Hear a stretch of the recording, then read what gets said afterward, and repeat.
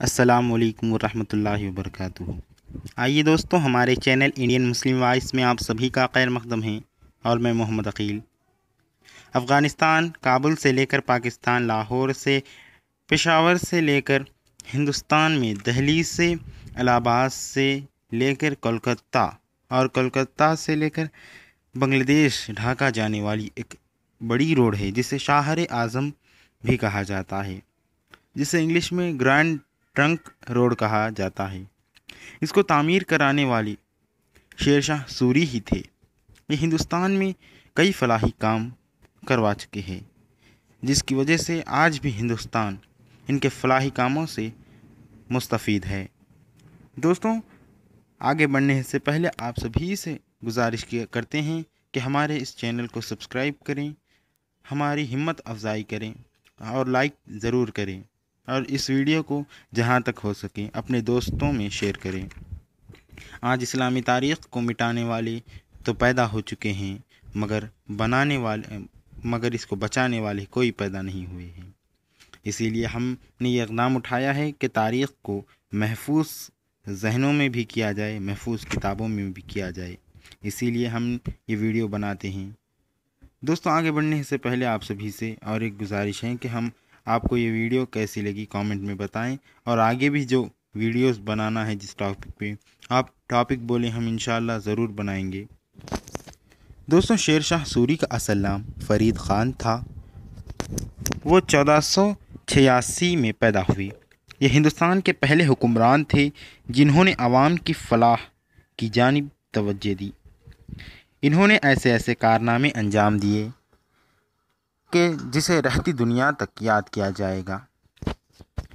شیر شاہ سوری کا والد کا نام حسن خان تھا اور دادا کا نام ابراہیم خان سوری تھا۔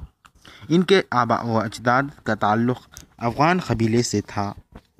چودہ سو اکاون میں جب دہلی میں لودھی خاندان کی حکومت قائم تھی، لودھی جو نسلاً افغانی تھے، انہیں دیکھتے ہوئے بہت سے افغان سردار اچھے مستقبل کی تلاش میں دہلی آ پہنچے۔ انہی میں شیر شاہ سوری کے دادا ابراہیم سوری بھی تھے۔ بعد میں شیر شاہ سوری کے والد حسن خان کو سکندر لودھی نے بہار کے علاقے سہسرام کی جاگیر عطا کی۔ فرید خان یعنی شیر شاہ سوری اپنے والد کے آٹھویں فرزند تھے۔ اپنی سوتیلی ماں کی نفرت اور سنگ دلانہ رویے کے سبب فرید خان بچپن ہی میں اپنے گھر سے فرار ہو گئے اور جونپور کے نواب کے یہاں ملازمت اختیار کر لی۔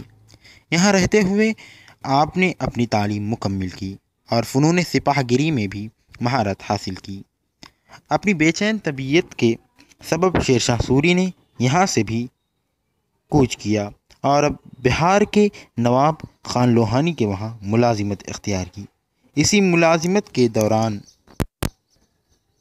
اپنے آقا کی جان بچاتے ہوئے فرید خان کا سامنا ایک شیر سے ہوا اور اس بہادر نوجوان نے تنے تنہا اس شیر کو موت کے گھاٹ اتار دیا۔ نواب خان لوہانی نے تبھی سے آپ کو شیر شاہ کا لقب دیا اور انہیں اپنے قابل بھروسہ ساتھیوں میں شمار کیا۔ اپنے بیٹے شہزادے جمال خان کا اطالیق بھی مقرر کیا۔ جب ہندوستان میں مغلوں کی آمد ہوئی اور لودھی خاندان کا خاتمہ ہوا تب شیر شاہ سوری مغلوں کی جنگی مہارت دیکھ کر ان سے متاثر ہوئے۔ بابر کی فوج میں شامل ہو گئے۔ شیر شاہ سوری کی اعلیٰ صلاحیتوں کو دیکھتے ہوئے بابر نے انہیں سہزرام کا نظم سنبھالنے کی ذمہ داری دی۔ کہا جاتا ہے کہ ایک مرتبہ شاہی دعوت کے موقع پر شیر شاہ سوری نے بابر کے سامنے سے ایک گوشت کا ٹکڑا کھینچا اور مزے سے کھانے لگا۔ بابر کو یہ بات سخت ناگوار گزری اور تبھی سے شیر شاہ سوری اور مغلوں کے تعلقات کشیدہ رہنے لگے۔ دوستوں چنانچہ شیر شاہ سوری بہار لوٹ آئے پھر۔ اب نواب خان لوہانی کی جگہ، بہار میں نواب خان لوہانی کی جگہ ان کے بیٹے شہزادے جمال خان لوہانی نواب بن چکے تھے، لیکن یہ نا، نااہل تھے۔ جس کے سبب تمام نظام سلطنت شیر شاہ سوری نے اپنے ہاتھ میں لے لی۔ شیر شاہ سوری کے اس اقدام کے سبب نواب بنگال محمود شاہ نے شیر شاہ سوری کے خلاف کارروائی کرنی چاہی، لیکن اسے بھی شکست ہوئی۔ اب شیر شاہ سوری کی جنگی قوت میں بے پناہ اضافہ ہو گیا۔ چنانچہ ان کی اس حالت کی قبریں جب مغل بادشاہ ہمایوں تک پہنچی تو وہ شیر شاہ سوری سے مقابلے کے لیے آ پہنچا۔ لیکن وہ بھی شیر شاہ سوری کی جنگی قابلیت کے سامنے نہ ٹک سکا اور مجبوراً صلح کر کے واپس لوٹ گیا۔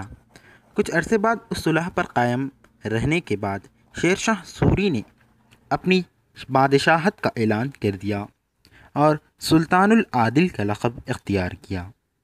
اب مغل بادشاہ ہمایوں نے پندرہ سو چالیس میں دوبارہ شیر شاہ سوری پر حملہ کیا اور بڑی شکست سے دو چار ہوا۔ اس شکست کے بعد سارا شمالی ہند کا علاقہ شیر شاہ سوری کے زیر تسلط آ گیا۔ اور بادشاہ ہمایوں اپنی جان بچا کر بھاگنے پر مجبور ہوا۔ شیر شاہ سوری کو حکومت کرنے کے لیے بہت ہی کم وقت نصیب ہوا اور اس دوران بھی وہ مختلف جنگی مہموں اور بغاوتوں کو کچلنے میں مصروف رہے۔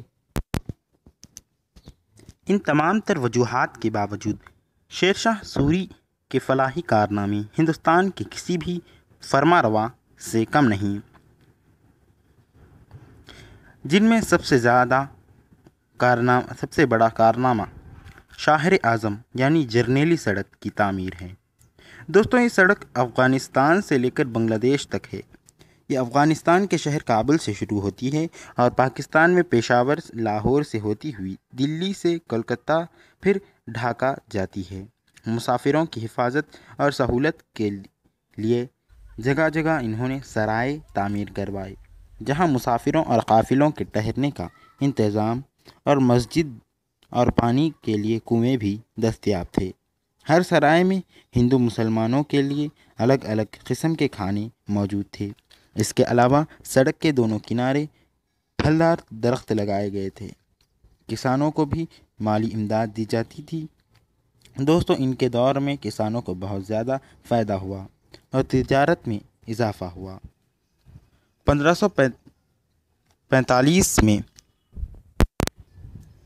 ایک جنگی مہم کے دوران بارود خانے میں آگ لگنے کے سبب شیر شاہ سوری شدید زخمی ہوئے اور وہ مہم کے فتح ہونے کے بعد انتقال کر گئے۔ افسوس کہ سوری خاندان کو آپ کے بعد کوئی لائق اچھا جانشین نہیں نصیب ہوا۔ کچھ عرصے ہی بعد مغل بادشاہ ہمایوں نے پھر سوری سلطنت پر حملہ کر کے دوبارہ مغل سلطنت ہندوستان میں قائم کی۔